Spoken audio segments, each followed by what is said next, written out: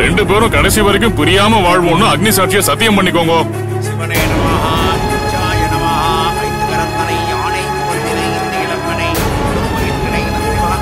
கடைசி வரைக்கும் பிரியாமல் வாழ்வோம். இது அக்னி சாட்சியாக சத்தியம். கடைசி வரைக்கும் பிரியாம வாழ்வோம். இது அக்னி சாட்சியா சத்தியம்.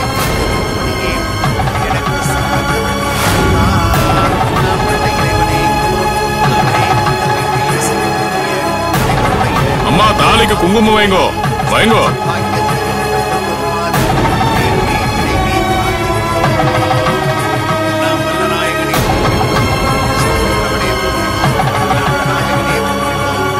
மாப்பிள்ளை நீங்களும் திருமாங்கல்யத்துக்கு பொட்டு வைங்கோ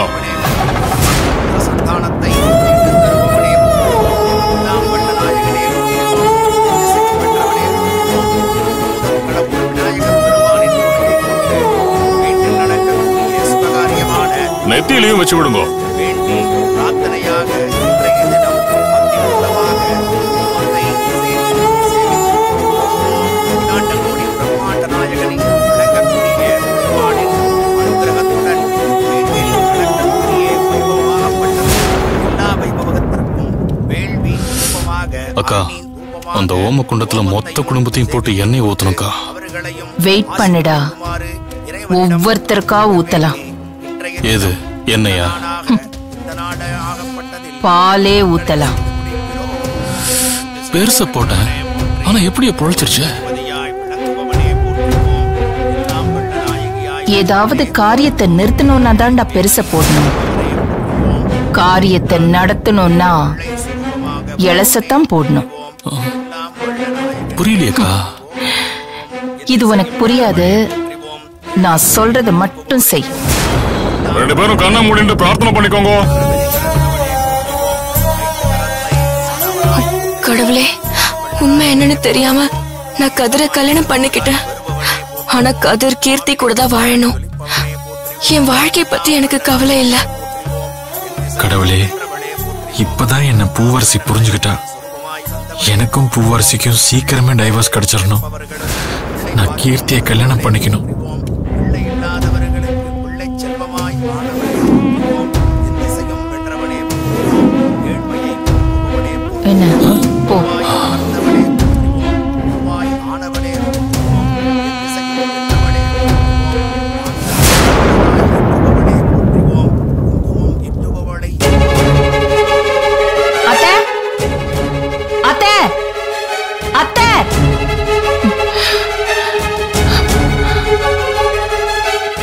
என்ன மகேஸ்வரி? என்னாச்சு?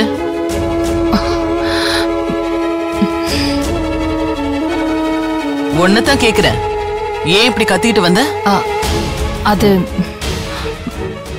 ஒண்ணும் இல்ல. அக்கா கோவமா கேட்பான்னு பார்த்தா? மகேஸ்வரி நீ ஏதோ என்கிட்ட கேட்க வந்த ஆனா எதுவும் பேசாம இருக்க. அது அது வந்து அது என்னன்னு நான் சொல்லட்டுமா?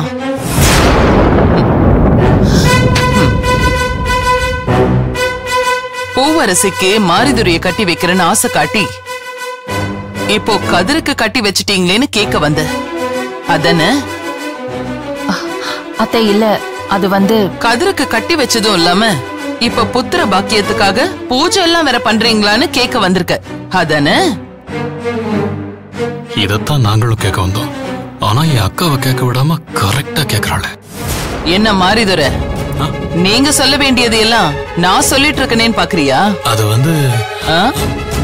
என்ன மகேஸ்வரி நான் சொன்னது சரியா? மாரிதுரைக்கு கல்யாணம் பண்ணி வைக்கிறேன்னு வாக்கு கொடுத்தது என்ன ஆச்சுன்னு கேட்க வந்திருக்க. ஆமா அத்தை அததான் கேட்க வந்தேன். நான் கேக்குறதுல என்ன தப்பு சொல்லுங்க? அத்தை உங்க வார்த்தையை மீறி நாங்க இதுவரைக்கும் என்ன பண்ணிருக்கோம் சொல்லுங்க? நான் வாக்கு கொடுத்தா அதை எப்படியாவது காப்பாத்துவேன்னு உனக்கு தெரியாதா? நீங்க சொன்ன வார்த்தைய இதுவரைக்கும் நம்பிக்கிட்டு தானே இருந்தோம். ஏன்? இப்ப என்னாச்சு? இதுக்கு மேல என்ன ஆகணும் அத்தை? நீங்க சொன்ன வார்த்தையை உங்களால காப்பாத்த முடியலையே. நான் என்ன காப்பாத்தாம போயிட்டேன்? அதான் நீங்களே சொன்னீங்களே. பூவரசிய மாரித்துறைக்கு கட்டி வைக்கிறேன்னு. அத காப்பாத்தாம காதலிச்சாங்கன்னு அந்த கதிருக்கு கட்டி வச்சு வீட்டோட மாப்பிளையாக்கி வச்சிட்டீங்க. கல்யாணம் பண்ணி வச்சதும் இல்லாம குழந்தை பிறக்கிறதுக்கு புத்திர பாக்கிய பூஜை எல்லாம் வேற பண்றீங்க. இதுக்கு பேரு என்னவா? மகேஸ்வரி நான் உங்ககிட்ட சொன்னது ஞாபகம் இருக்கா? அப்பா இன்னும் கொஞ்ச நாள் தான் உயிரோட இருப்பாரு.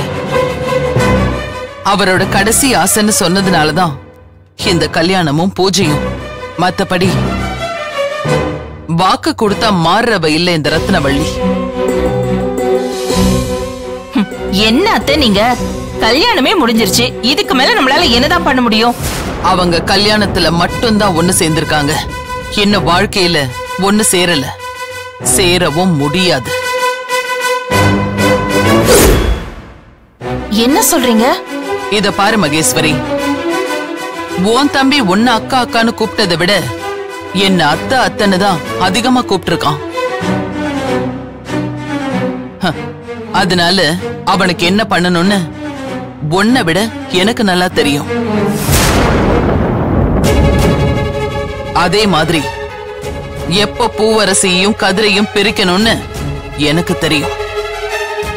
அது மட்டும் இல்ல பூவரசிய மாரிதுரைக்கு எப்ப கட்டி வைக்கணும்னு எனக்கு தெரியும். எல்லாத்துக்கும் மேல நான் சொன்ன வார்த்தையை காப்பாத்துவேங்கிறது உனக்கு நல்லாவே தெரியும்.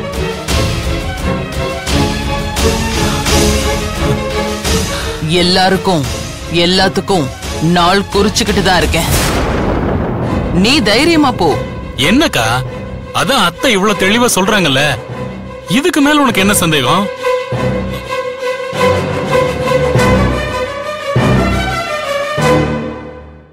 இந்த வீட்ல எப்ப காய நகர்த்தணும்? எப்ப கதிரை விரட்டணும்னு நான் பாத்துக்கிறேன்.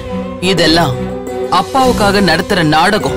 இன்னும் அதிகபட்சம் மூணு மாசம் வெயிட் பண்ணுங்க. அதுக்கப்புறம் எல்லாமே சரியாயிடும். என்னமோ அத்தை. என் வாழ்க்கை தான் இப்படி போயிடுச்சு. என் தம்பி வாழ்க்கையாவது நல்லா இருக்கணும்னு தான் நான் உங்ககிட்ட இப்ப பேச வந்தேன். மகேஸ்வரி எல்லாத்தையும் நான் பாத்துக்கிறேன். நீ எதுக்கும் வருத்தப்படாம போ. சரி அத்தை.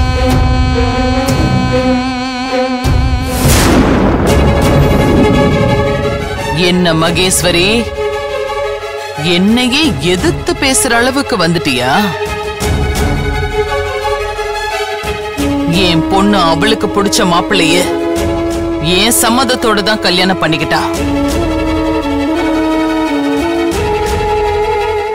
என் அப்பா ஆசைப்பட்ட மாதிரி அவங்கள கடைசி வரைக்கும் நான் நல்லா வாழ வைப்பேன். பூவரசிய உன் தம்பிக்கு கட்டி வைக்கிறேன்னு சொன்னேன் ஆனா என் பொண்ணுக்கு உன் தம்பிய விட அவளுக்கு பிடிச்ச கதிர் தான் ரொம்ப பொருத்தமானவன். இனி அவங்க வாழ்க்கையில யாரு குறுக்க வந்தாலும் நான் விட மாட்டேன்.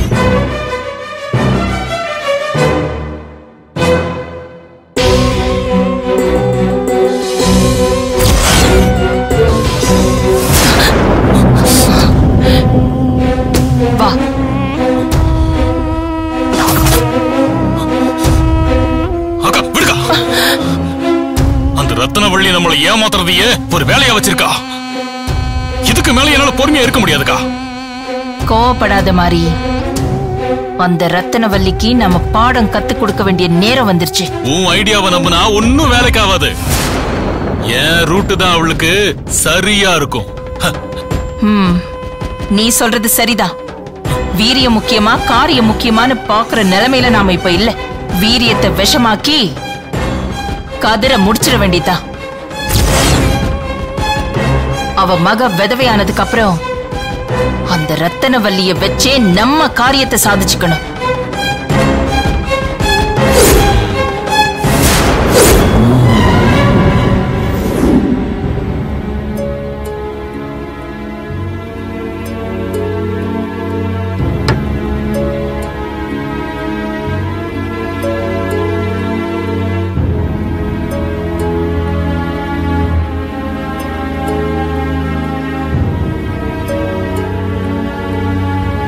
Hello sir. பால்ல தூக்க மாத்திரை போடுற வேலைலாம் வேணாம். ஐயோ. சாரி பூவரசி. அன்னைக்கு என்ன பண்றதுன்னே தெரியல. உனக்கு எப்படி சொல்லி புரிய வைக்கிறதுன்னு தெரியல. அதான் பால்ல மாத்திரை போட வேண்டியதாயிடுச்சு.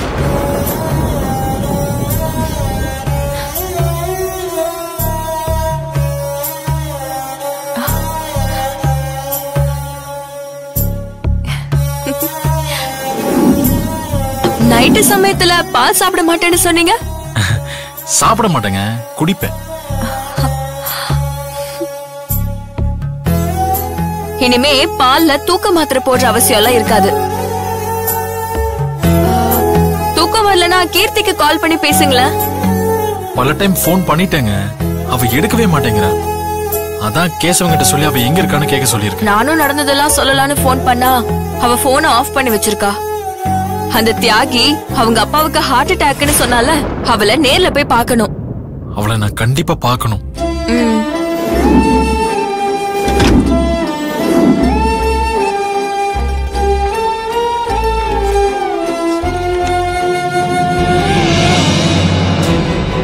என்ன பண்றீங்க? கீழே படுக்கிறேங்க. ஏன்? இல்ல நான் எப்படி மேல? நீங்க படுங்க. கட்டில் பெருசாதான் இருக்கு. இங்க வந்து படுங்க. இல்ல நீங்க ஃப்ரீயா படுத்து தூங்குங்க.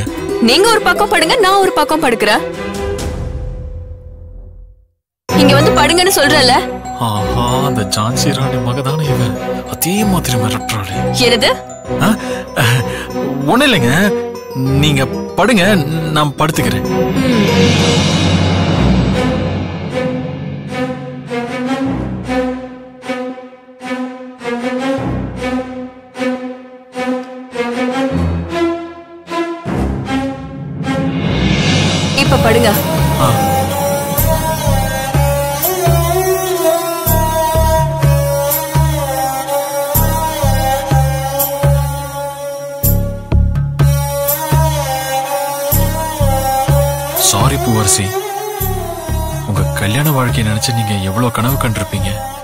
என்னால உங்க கனவே இப்படி சுக்குநூறு ஆயிடுச்சுல்ல? நான் கண்ட கனவே நீங்க தான் கதிர். என் கனவு நிஜமாயிடுச்சு. ஆனா இப்ப அந்த நிஜமும் கனவாயிடுச்சு. அதெல்லாம் ஒண்ணும் இல்ல கதிர். நீங்க என்ன பத்தி நினைச்சு ஃபீல் பண்ணாம நீங்க நிம்மதியா தூங்குங்க.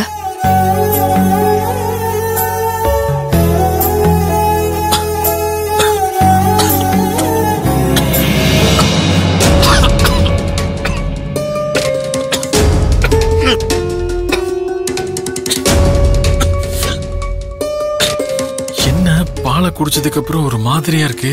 ஆஹா நான் பால்ல மாத்திரை போட்டான்னு இவ வேற ஏதாவது போட்டுட்டாளா? இதுக்கு தான் நல்லவ மாதிரி டைவர்ஸ்ல அப்ளை பண்ணாளா? நான் வேற வேகமா எடுத்து வீரப்பா குடிச்சிட்டேனே. காலையில வரைக்கும் உயிரோட இருப்பானா கடவுளே. ஏங்க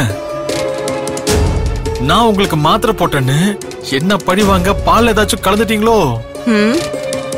தொண்டை ஒரு மாதிரி கரகரங்குதுங்க. ஹலோ அந்த புத்தில எனக்கு வராது.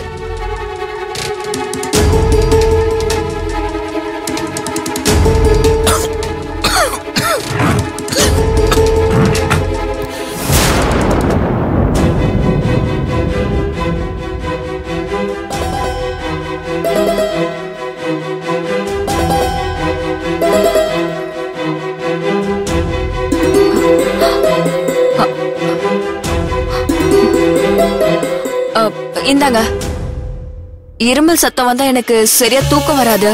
தைலம் கொஞ்சம் நல்லா தேய்ச்சிக்கோங்க. படுத்துக்கோங்க. சரி.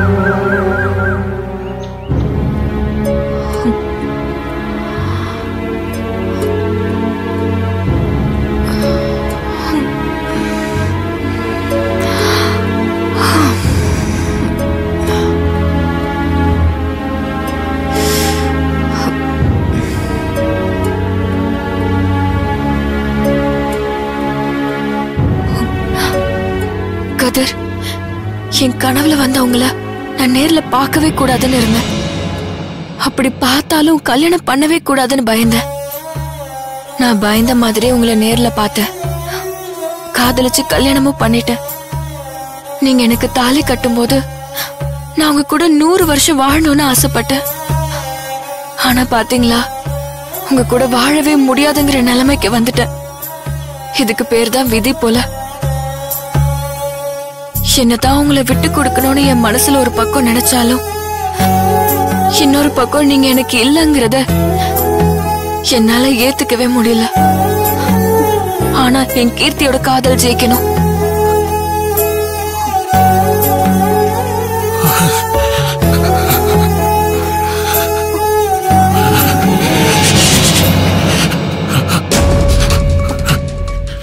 கதிர் கதிர். என்னாச்சு? என்ன இப்படி கொதிக்குது?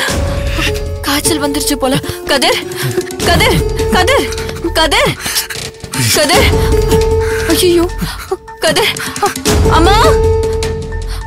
அம்மா சித்தி சித்தப்பா எல்லாரும் சீக்கிரம் வாங்க.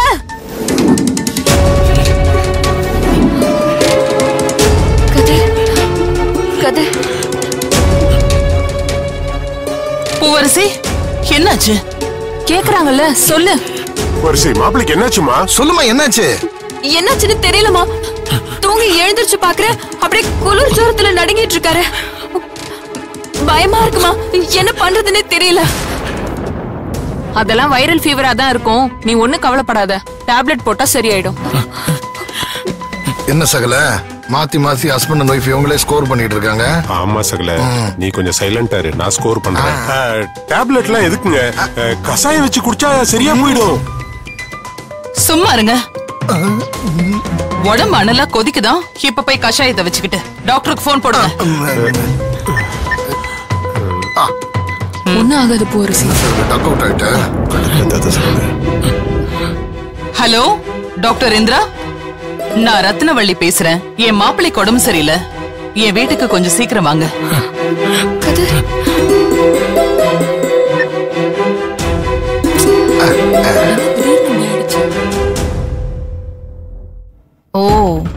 இந்திராவுக்கு தான் கால் பண்றியா? கூட நர்ஸ் விமலா தான் வருவாள்ல? இந்த மாதிரி ஒரு சந்தர்ப்பத்துக்கு தான் நான் இவ்வளோ நாளா காத்துக்கிட்டு இருக்கேன். எல்லா நாளும் காத்து உன் பக்கமே அடிக்காது ரத்னவல்லி. இப்ப அந்த காத்த நான் உனக்கு எதிர் திசையில அடிக்க வைக்கிறேன். என் ஆட்டத்தை நான் உன்கிட்ட இருந்து ஆரம்பிக்கிறேன். இன்னைக்கு நீ காலிடா. டேய் உன் கதையை நான் முடிச்சு காட்டுறேன். கதிர்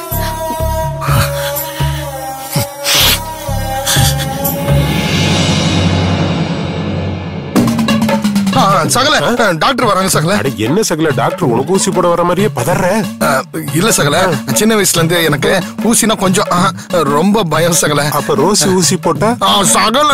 அப்புறம் என்னைய பதற. வணக்கம். வாங்க. ஹாய் மேடம் யாருக்கு ஃபீவர் என்ன செய்து? எனக்கு ஜுரமா இருக்கு. பாடியில கொஞ்சம் பெயினா இருக்கு. கையை காட்டுங்க. மூச்சை நல்லா இழுத்து விடுங்க.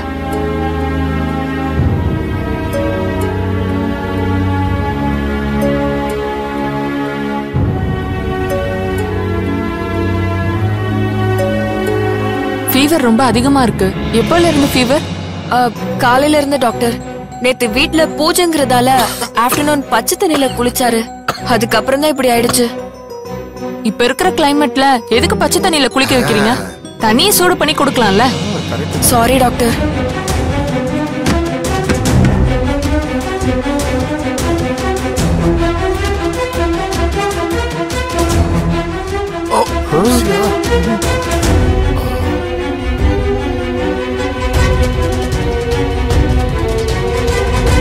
தெர்மோமீட்டரா? என்னாச்சு டாக்டர்? ஹாஸ்பிட்டல் ஏதாவது சேர்க்கணுமா? அதுக்கு அவசியம் இல்ல மேடம். இன்ஜெக்ஷன் போடுறேன் சரியாயிடும். நீ பயப்படாத. நர்ஸ் இந்த மருந்தை இன்ஜெக்ஷன்ல ஏத்திட்டு வாங்க. Okay doctor.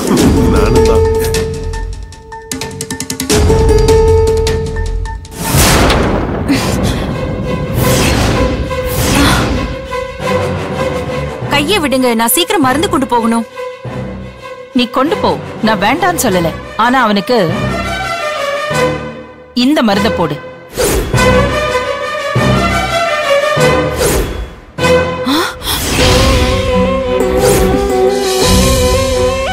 இத போட்டா பேஷண்டோட உயிரே போயிடுமே. கத்தாத. இத போட்டா உயிர் போயிடும்னு எனக்கு தெரியும். அதுக்கு தான் போட சொன்னேன். என்ன பேசுறீங்க நீங்க? இதெல்லாம் என்னால முடியாது. இத பாரு. நான் ஒன்னும் உன்னை சும்மா செய்ய சொல்லல. இத பாரு. இத வச்சுக்கிட்டு நான் சொன்ன மாதிரி அவன் கதையை நைஸா முடிச்சிரு. மேடம் நீங்க எவ்வளவு கொடுத்தாலும் என்னால இதை செய்ய முடியாது. என் வேலையை செய்ய விடுங்க. ப்ளீஸ் மேடம் ஒரு நிமிஷம் ஒரு நிமிஷம். நீங்க எல்லாம் பணத்துக்கு வேலை போக மாட்டீங்க. ஆனா பாசத்துக்கு வேலை போவீங்கல்ல?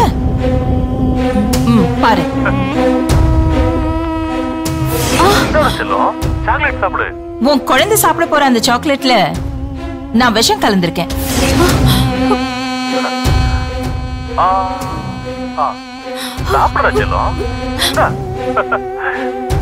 நீ இந்த ஊசிய போட மாட்டேன்னு சொன்னேன்னா அந்த சாக்லேட்டை சாப்பிட்டு உன் குழந்தை செத்து போயிடும். இல்ல நான் சொன்ன மாதிரி இந்த ஊசிய போட்டு நீ அவனை கொன்னுட்டேன்னா உன் குழந்தையும் தப்பிச்சிரும். உனக்கு பணமும் கிடைக்கும்.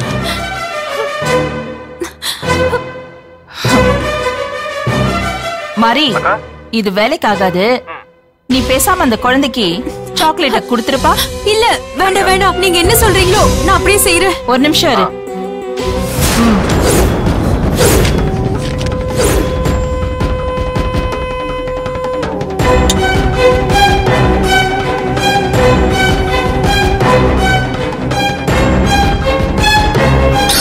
மாப்பிளைக்கு தான் உனக்கு இல்ல தெரியுது தெரியுது. நீங்களே இன்ஜெக்ஷன் போடுங்க. ஹலோ